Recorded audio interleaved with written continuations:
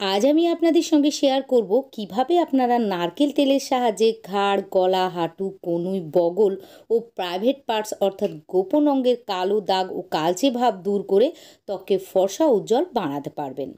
আমাদের মধ্যে অনেকেই এমন আছেন যাদের ঘাড়, গলা বগল ও প্রাইভেট পার্টস কালো হয়ে যায়, যেটা দেখতে ভীষণই খারাপ দেখায়। কিন্তু আজ আমি আপনাদেরকে ঘরে থাকা সামান্য কিছু জিনিস দিয়ে একটি রেমিডি বানিয়ে দেখাবো, যেটি দিয়ে আপনারা অতি সহজে এই কালো দাগগুলো তুলে ফেলতে পারবেন। ভালো ফলাফলের জন্য আপনারা সপ্তাহে দুদিন করে এই উপায়টি করে নেবেন।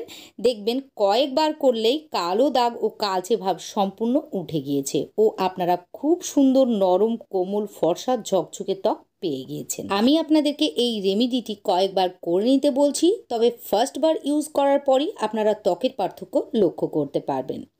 প্রথমবার ব্যবহারে দেখবেন আপনাদের ত্বক আগের থেকে অনেক বেশি ফর্সা ও উজ্জ্বল দেখাবে।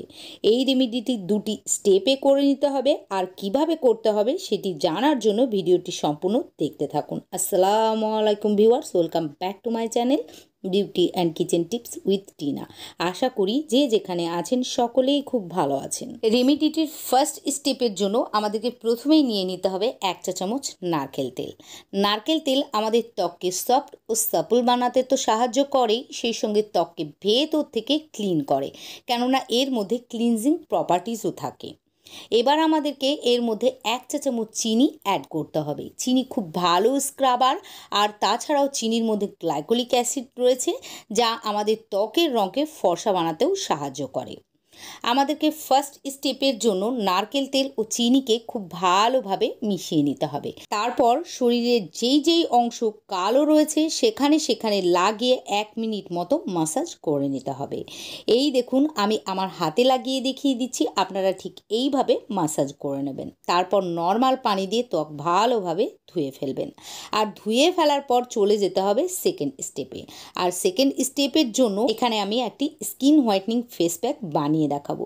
যেটি আপনাদের কালো ত্বককে খুব তাড়াতাড়ি ফর্সা বানাবে। এর জন্য একটি বাটির মধ্যে আমাদেরকে প্রথমেই নিয়ে নিতে হবে দু চা চামচ চালের গুঁড়ো।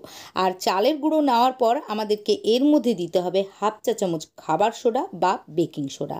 তারপর এই দুটিকে খুব ভালোভাবে মিশিয়ে নিতে হবে। আর এই দুটিকে ভালোভাবে মিক্স করার পর আমাদেরকে এখানে দিয়ে দিতে হবে টুথপেস্ট।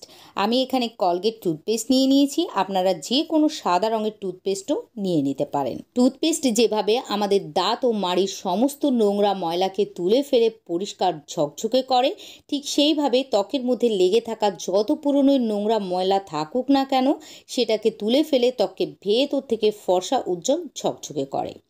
এবার এর মধ্যে আমাদেরকে দিতে হবে অর্ধেকটা লেবুর রস। লেবুর রসের মধ্যে ন্যাচারাল ব্লিচিং প্রপার্টিস থাকে, এটি মাইল্ড অ্যাসিডিক হয়, তাই এটি খুব ভালোভাবে আমাদের ত্বক থেকে নোংরা ময়লাকে তুলে ফেলতে পারে ও ত্বকের রঙকেও ফর্সা করে তোলে।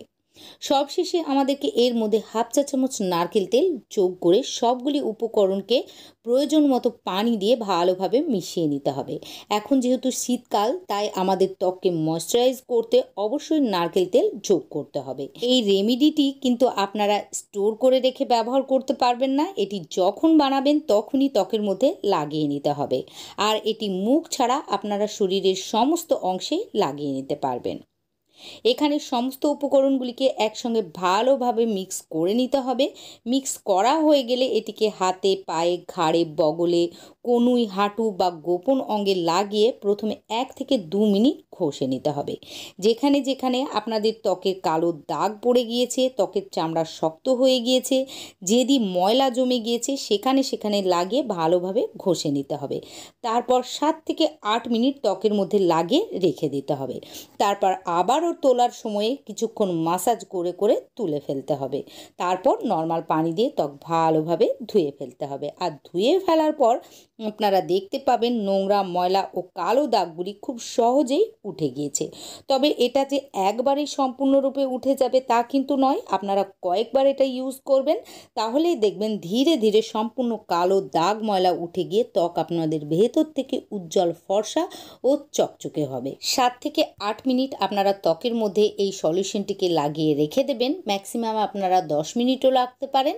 তারপর নর্মাল পানি দিয়ে ভালোভাবে ধুয়ে ফেলবেন। আর ধুয়ে ফেলার পর ত্বককে অবশ্যই ময়শ্চারাইজ করে নিতে হবে।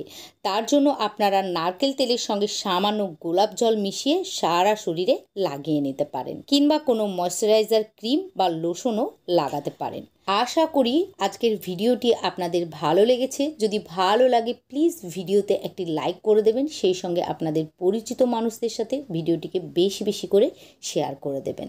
আজকের মতো এখানেই বিদায় নিচ্ছি। আবারও ফিরে আসব নতুন কোনো ভিডিওর সঙ্গে। ততক্ষণের জন্য ভালো থাকবেন, সুস্থ থাকবেন। খোদা হাফেজ।